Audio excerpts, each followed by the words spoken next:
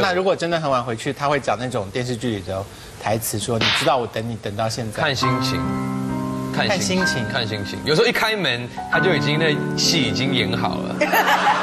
我以为然后你是什么？然后他会讲就是披头散发，然后坐在那边这样子，在黑暗中。不一定，有时候是走生气路线，有时候是比较凄凉的路线，然后。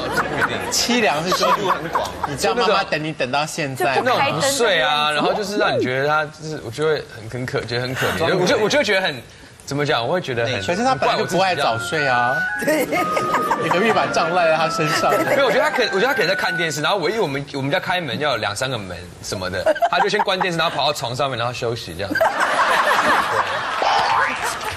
跟以前小梅一样，我妈以前我们很爱去夜店的时候，然后我们就说妈你就先睡，你不要等我们。对，她就说好没关系。然后已经凌晨三点回到家，发现家里一片漆黑。然后你看，呃，小梅，你知道穿那种连坐在黑暗中，对，然后穿那种连身睡衣，然后那个前面就放一瓶那个已经喝到一半的啤酒，然后她就说还知道回来啊，然后就觉得好像孩子啊，什么叫还知道回来啊？guilty，然后我想说就跟你的情况一样明明自己在酗酒，你知道很激动，然后就好像小哥还知道回来，没有，我不会，我 已经我不会喝酒，因为我不会喝酒，我都会去阳台。其实我都会在阳台等他，啊，这很然后就跟我的。树啊花说话这样，说什么？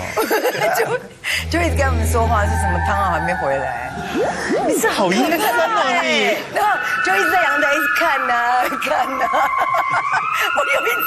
我还我还站在阳台说汤好，